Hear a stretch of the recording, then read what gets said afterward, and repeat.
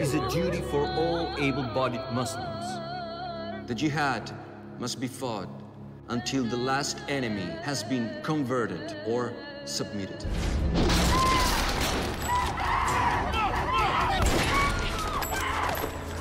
Take her home, comfort her. In fact, if you can, take her away on holiday, far away.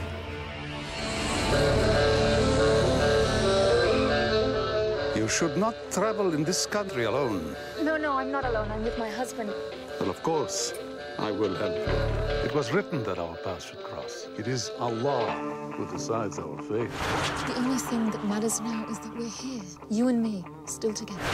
Allow me to introduce myself. My name is Ludovico Vicedomini. I would be honored if you would like to be my guests.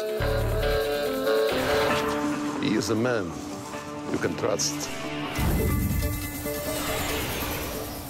During our holiday, we met a guy who deals in precious stones. All the shots with the gems dealer have been erased from the tape. I was passing through Rome. I couldn't resist the temptation. Come and see me in Torino. Here's where you'll find me. I have a feeling that these two men are hiding something. Mr. Vicedomini is simply a good-looking man who has fallen in love with a beautiful woman. And this beautiful woman happens to be your wife.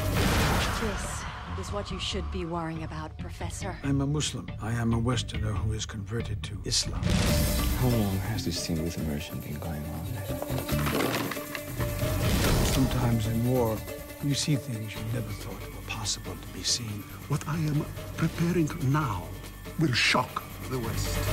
Our marriage is dying, and you didn't even realize it. You're just not that kind of woman. You're going off with a terrorist. The merchant is involved with Al Qaeda.